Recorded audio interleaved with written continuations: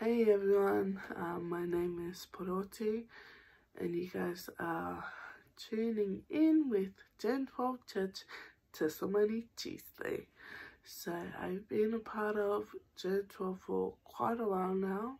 Um, just last year in January, um, a few of my brothers and sisters in Christ and I um, got baptized.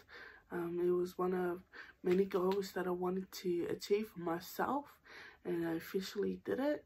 Um, but a couple of days before baptism, um, I remember that there will be a time and a place where I will come head to head with my biggest trial. And so a couple of months has gone by.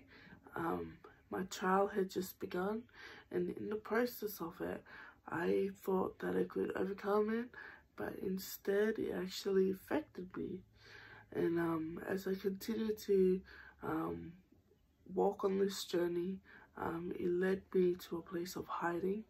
Um, I kept a low profile of what I was doing, what I was getting up to. Um, I basically ignored everyone that was trying to reach out to me.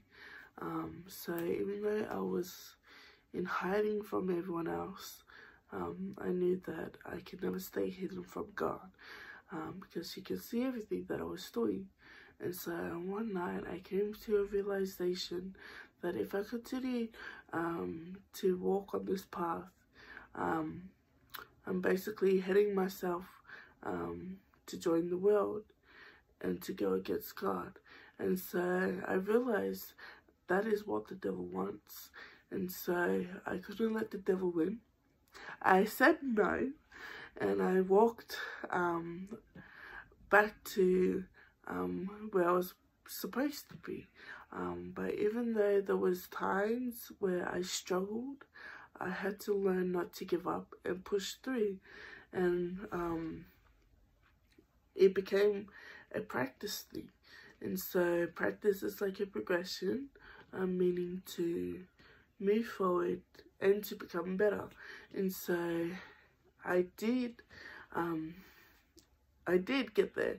And so even though I didn't overcome it um, the first time, um, I did overcome it the second time. And to say it's not a struggle anymore, to say no to all those things that I was struggling with, um, it became easy for me. And so um, that Bible verse um, that helped me through it all was Philippians 4.13. I can do all things through Christ who strengthens me.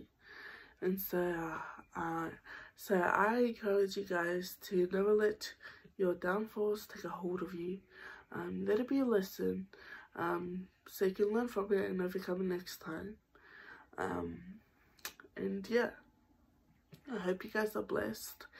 And yeah, bye.